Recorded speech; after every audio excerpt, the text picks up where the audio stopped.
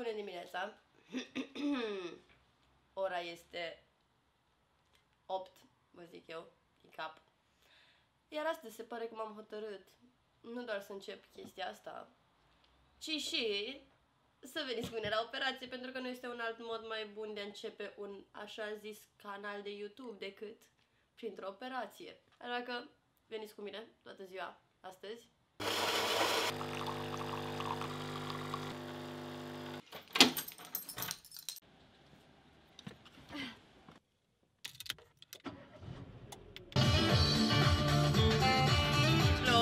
Și plouă, plouă, plouă în drumul meu spre spital. But I happy, happy, joy, joy. Chiar dacă o să am fața mutilată pentru două săptămâni. Sunt prea happy, happy, joy, joy pentru ziua asta. Adică sunt conștientă de faptul că o să fiu mutilată la sfârșitul zilei. Mutilată e mult spus, whatever. Înțelegeți voi, o să fiu toată vânătă și toată umflată. Sper să ajungem și să faceți și voi cunoștință cu doctorul Juravle și cu doctorul domnul Filip Răzvan.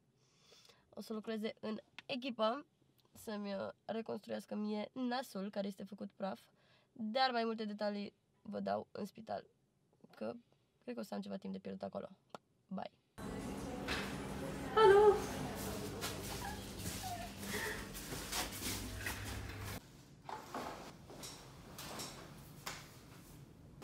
Hei, bună! Update. Am ajuns la spital. Încă nu mi-au dat calmante, după cum puteți observa. Uh, mi se pare zici că mă duc la cel mai frumos spa posibil, ever. Uh, cred că n-am mâncat de multe ore. Cred că de vreo 16 ore. Și mi-e foame. Mi-e foarte foame și am, am un pachet de biscuiți acolo. Fai de cap meu ce l-aș devora. Doamne, ce foame mie.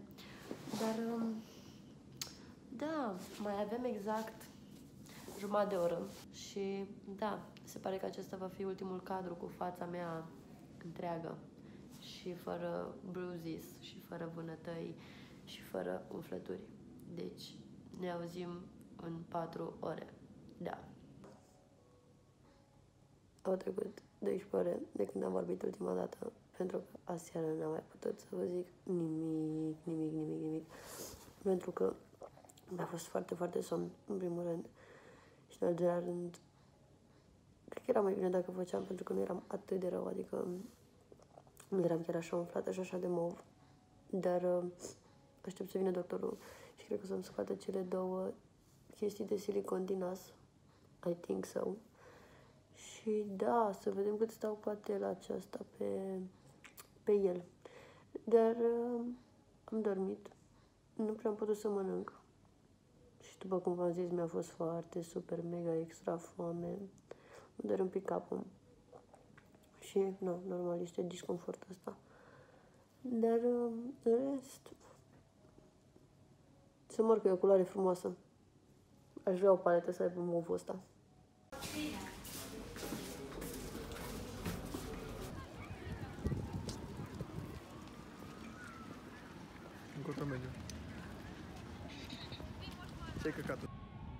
Cea mai uzuală întrebare pe care am primit-o despre această operație a fost de ce am făcut această operație.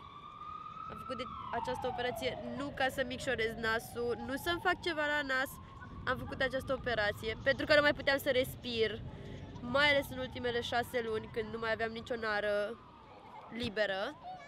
Îmi place că va trebui să-mi dau tot timpul mascuța asta așa jos și o să arăt foarte ciudat. Uh, mi-am făcut o septoplastie cu o rinoplastie pentru că neputând să respir, mi s-a spart tot septul, l-au refăcut și mi-au micșorat ușor nările pentru că vârful era mai subțire ca la început. Let's go!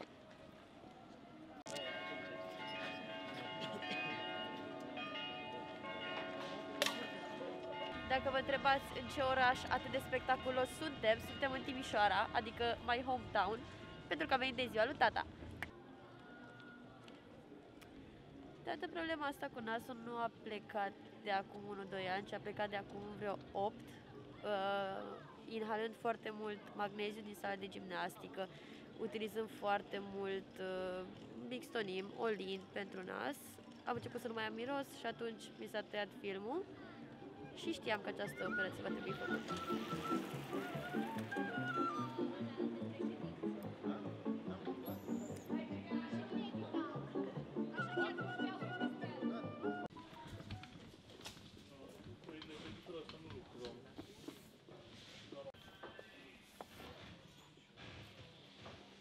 Se vede că zâmbesc, dar zâmbesc. Nu știam că ai și în Cărturești. Acum că suntem la Timișoara, poate le arătăm și punga cu medalii. Nu? Da, da, Dar de ce spui bada așa? că mi-e rușine. De ce ți-e rușine? Sunt câștigurile tale. Da, dar mi-e rușine. De? Nu pot să-mi bag cartea la loc. Cât te ajut? Potato. Double Semănați. potato.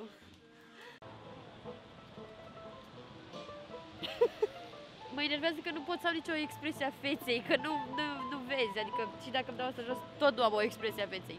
Dar ce ai pățit la față? Mai bătut. Cât de mult se holbează oamenii la tine?